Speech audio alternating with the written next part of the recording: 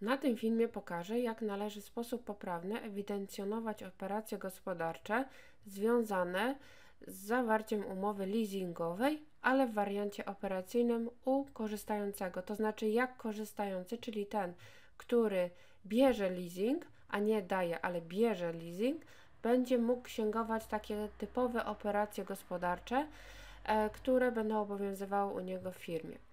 Na początek warto powtórzyć, że leasing to jest po prostu forma finansowania pozyskania aktyw. Inaczej mówiąc, jeżeli w działalności gospodarczej chcemy rozwinąć skrzydła, chcemy zakupić maszynę, samochód, cokolwiek, co może pomóc nam prowadzić tą działalność i jest elementem kluczowym, można tą maszynę nabyć, ale nie w formie zakupu bezpośredniego czy, czy, czy też kredytowania, można zawrzeć umowę, która będzie pozwalała, jak tutaj jest napisane, e, nabyć już tą maszynę, ale niekoniecznie traktować jako swoją.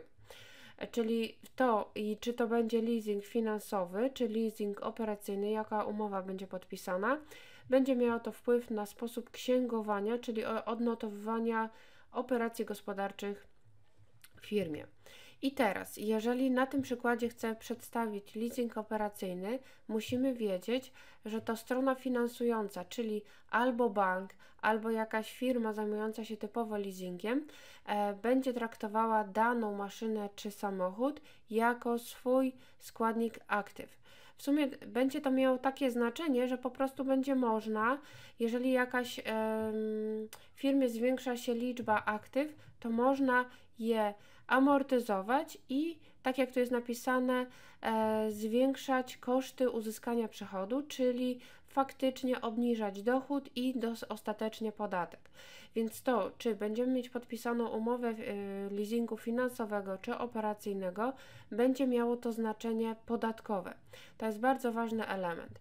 I jeżeli w tym zadaniu jest od razu w operacji pierwszej napisane, że zawarto umowę leasingu operacyjnego, ja muszę zwracać uwagę na to, że jest to leasing operacyjny, a więc e, tą stroną, która odnotuje e, dane aktywo, które jest przedmiotem leasingu, będzie to strona finansująca, czyli na przykład bank czy firma leasingobiorcza, czy dawca, przepraszam, leasing, dająca te, w, możliwość wzięcia w leasing jakiegoś środka trwałego.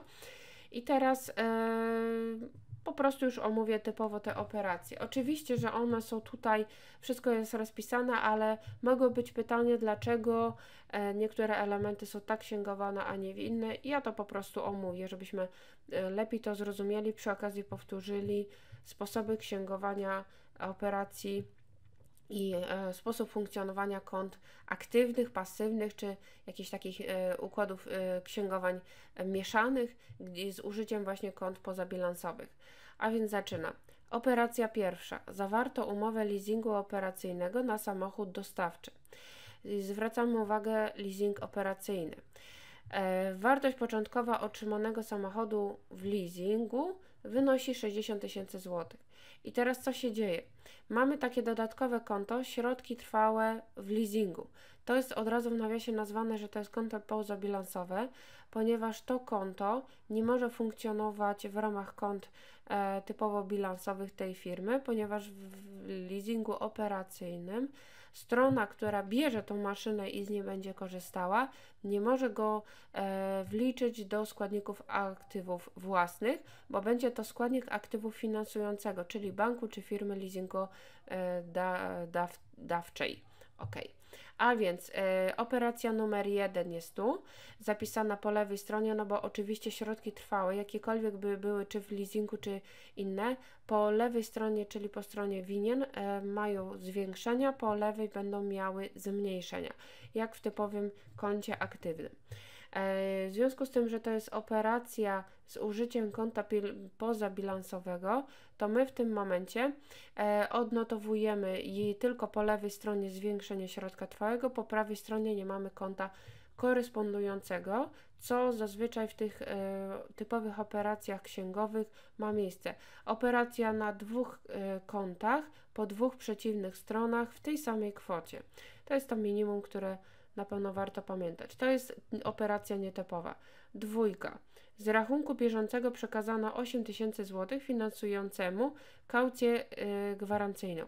Tak jak tu jest w teorii napisane, może mieć miejsce tak zwana kaucja, czyli możliwość jakby obowią złożenia obowiązku przekazania dodatkowej już kwoty, która będzie po prostu e, zmniejszała nam oczywiście rachunek bankowy jako konto aktywne, a będzie, będzie stanowiło pewną kwotę pieniędzy odłożoną na poczet przyszłych zobowiązań wynikających właśnie z tego leasingu.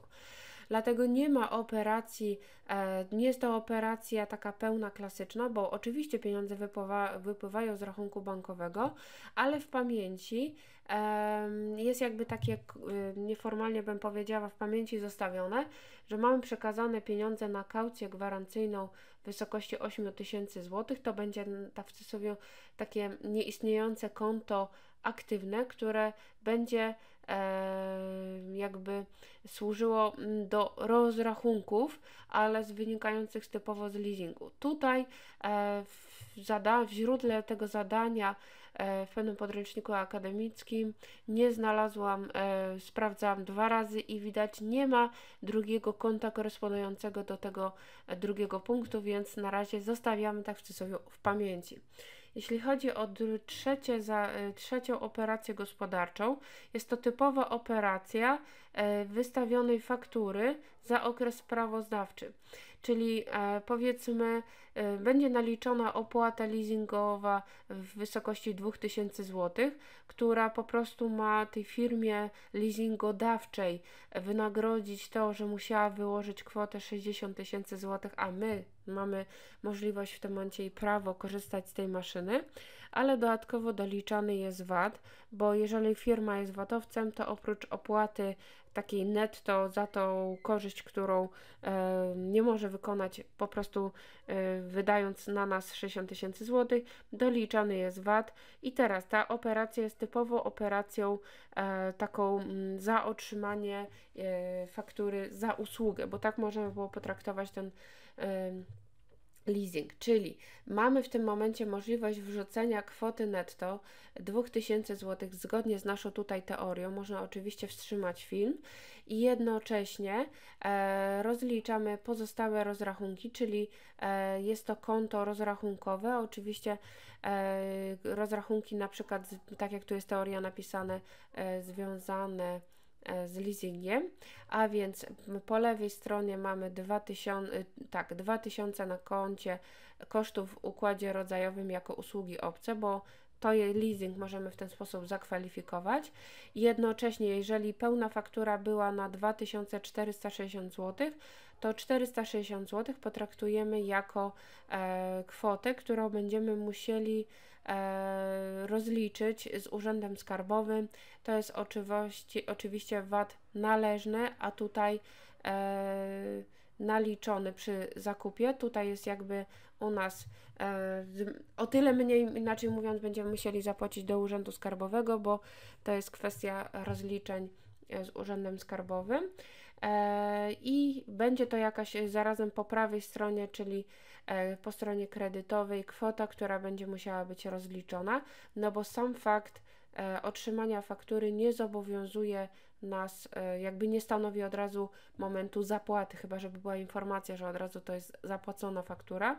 Jeżeli jest to rozbite i ta kwota w operacji czwartej jest zapłacona z rachunku bieżącego, to my w tym momencie, tutaj oczywiście powinno być 4060, my w tym momencie całą tą fakturę płacimy e, i zmniejszamy nasze, e, bo po prawej stronie tu jest zobowiązanie, to po lewej stronie zmniejszamy to zobowiązanie, jak to na koncie rozrachunkowym.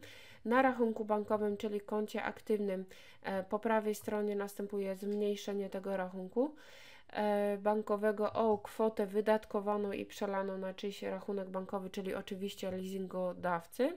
W piątce, jeżeli zwrócono po wykorzystaniu tego leasingu e, z powrotem do firmy, która ten leasing nam dawała, czyli do strony finansującej, to oczywiście ze środków trwałych w leasingu wychodzi nam samochód, e, czy tam ten środek trwały w pełnej kwocie wartości początkowej, która była po lewej stronie, tak po prawej stronie wykreślamy, wyzerujemy e, nasz naszą maszynę czy tutaj samochód i jest to operacja, która e, jeżeli zaczynała się jakby na tym koncie pozabilansowym jakby jednostronnie, to też jednostronnie to wyksięgowanie następuje. Nie ma drugiego konta korespondującego do e, tego wykreślenia środka trwałego w leasingu.